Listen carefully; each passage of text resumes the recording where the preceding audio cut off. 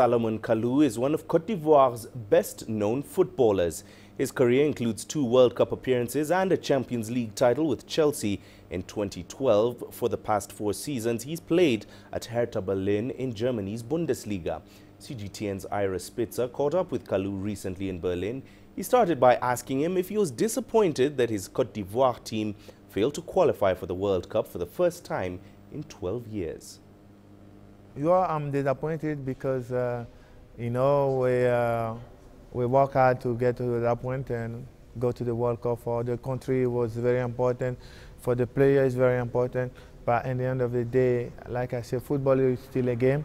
Either you play or not, you still will enjoy the game. So we'll be happy to watch other African team will make it to the World Cup, supporting them because they represent the continent. And I think uh, either Morocco, Nigeria, or Egypt, or Senegal can also represent the continent very high because for us it's all about representing the continent. It's not all about only one country, it's uh, the whole country, and we try to make Africa a better place.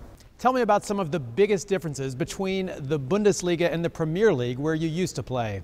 Well, two different leagues. I think the Premier League is more, um, is more uh, a lot of tempo, a lot of uh, physicality, uh, uh run, contact. The Bundesliga is more tactical, um, but I must say that those are two of the best leagues in the world. The stadium are always full, the pitch are always uh, amazing, the team are always competitive. So those two leagues are different in the way, but similar in the other way because you know you always have uh, enjoyment going on in those two leagues.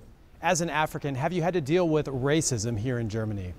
For me, racism is not about a place, it's about ignorance. People who don't know about other people, other culture, because when you find out what is about other culture, other people, maybe you might find a place to start liking them uh, and not judging them. So I think I won't put a race on only country or places.